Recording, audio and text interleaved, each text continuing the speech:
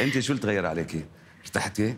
آه، في شيء ريحك وفي آه، شيء أكيد الحياة؟ عبد في أشياء أكيد كثير ارتحت فيها بصراحة. يعني القلق مثلا. أنا هلأ خلص صرت آه، سنين صار لي.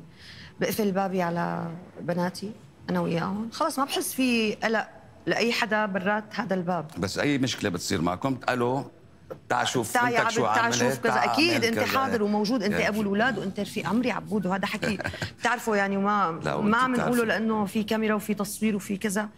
في أشياء تانية اختلفت آه، أنا بحب العيلة بتعرفني. بحب مثلا السفرة وقت الغداء إنه. معودة من بابا وماما الله يرحمهم إنه الغداء بمواعيد العشاء بمواعيد.